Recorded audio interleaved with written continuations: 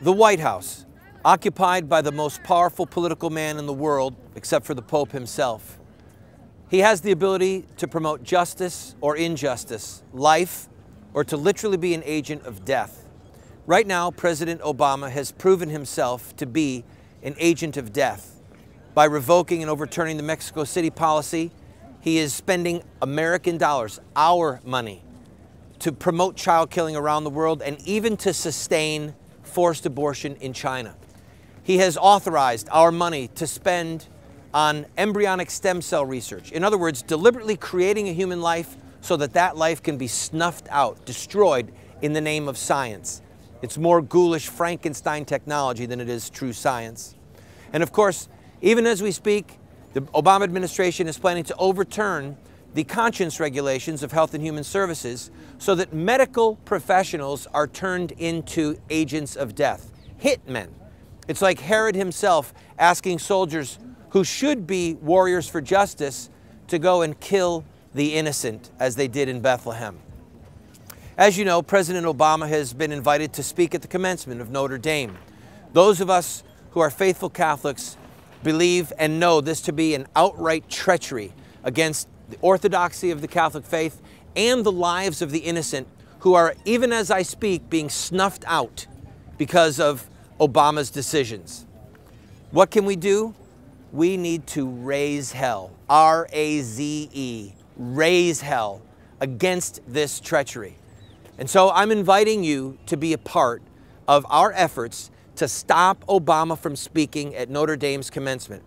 Now, just so you grasp the significance of this, picture if Notre Dame invited Herod after he authorized the death of the innocent in Bethlehem. Picture them inviting him to speak. Or picture a Jewish university in 1942 inviting Heinrich Himmler, the architect of genocide for the Nazis. Picture a Jewish university inviting Heinrich Himmler to speak.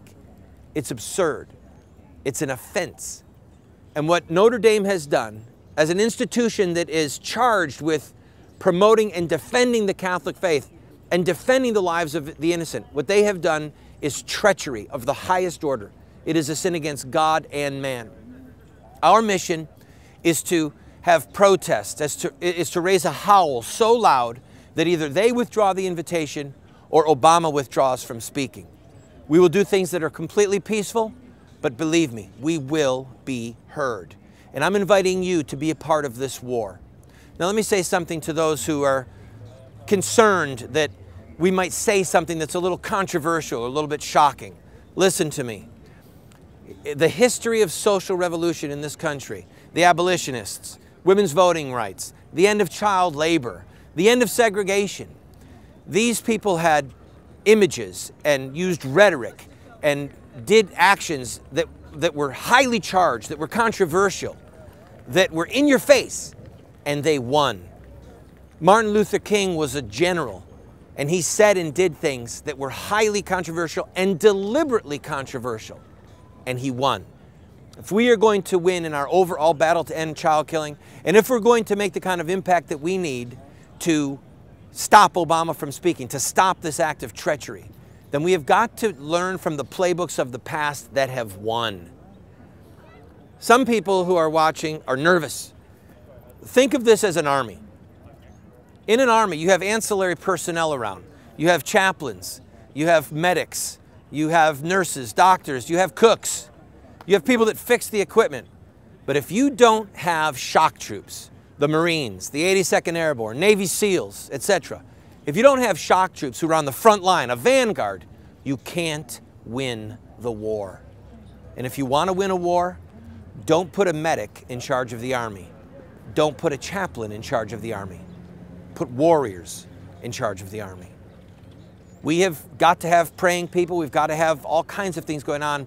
But those who are not able or equal to the kind of shock troop action that is required in peaceful social revolution, please don't speak ill of us and please don't try and turn the entire army into a medic corps or into a chaplain corps.